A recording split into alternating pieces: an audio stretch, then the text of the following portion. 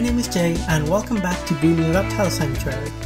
Today we're going to be working on a bit of a botanical garden slash greenhouse slash peafowl habitat.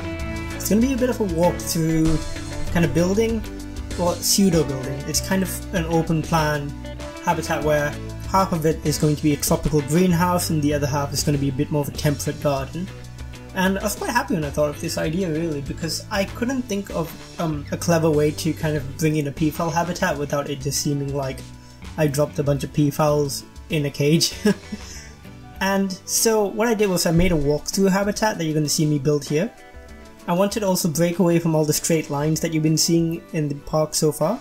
Almost all my paths have been following grid system and making this garden allowed me to branch away from that, have a little bit more of a curvy kind of path system uh, with different elevations as well, and allowed me to create some little streams. And it's quite it's been my most fun build so far. Really, I've really enjoyed this one.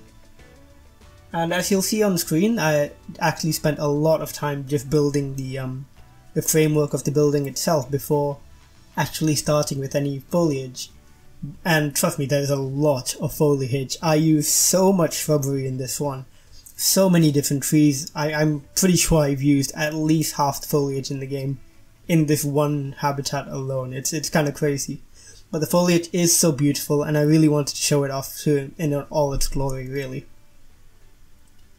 So, if you're wondering where all the reptiles are, considering it's episode four, and well, I've had one you know set of tortoises, it's because well, birds like I said in the first episode, birds are actually reptiles, phylogenetically speaking. So I decided to include all the birds we have within Planet Zoo here. But if you're interested in more conventional reptiles, they'll be coming quite soon. I am thinking of doing either the Nile monitor or the Aldabra giant tortoise in the next episode. I'm quite uh, keen on the Nile monitor because recently, as I mentioned in the previous episode, I was in the Philippines and I saw some really large Asian water monitors in the wild, and I thought those were really really cool. And I I was kind of um, thinking to myself, well, seeing these in the wild, seeing how they move, and seeing what kind of um natural structures they use gave me lots of inspiration for habitat. So in the wild, I noticed uh, while one of them was just kind of walking on the beach, there was another one quite close by to it, and I was kind of crawling up a tree. And um, I never thought these guys were much much climbers really, because I've seen them in documentaries, and all they seem to do is kind of bask in the sun.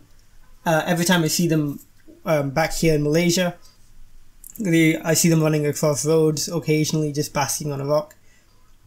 Never thought of them as climbers, but it seems they are pretty decent climbers, so I think within their habitat, I'm going to try and bring in some sort of dead trees, a few more climbing materials, and see whether they actually use it. I know they do climb across materials if they're not too steep. So we'll, we'll see how that works.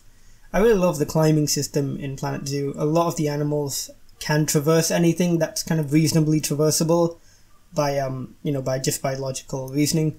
And I don't know how they've implemented that gameplay wise, but it's really impressive. It's really, really impressive just seeing how all these animals can traverse, you know, things that you've built yourself. It, it's quite incredible, really. And it's one of my favorite things about the game. Now, there's not too much for me to say today. So, what I'm going to do is I'm going to kind of just leave you with some music. It's a bit of a longer build today, but uh, hopefully you enjoy it. And I will speak to you in the next one. Once again, if you have any feedback or suggestions, please leave them in the comments down below. Uh, feel free to like and subscribe if you want more of this content. Also, if anyone has any solution to why my audio keeps having these little kind of popping sounds, I do use a pop filter, but I keep having these little kind of glitchy pop sounds. I'm not sure where they're coming from, so, so if you've got an idea, feel free to let me know. And yeah, cool. So I will see you guys in the next episode. Bye bye.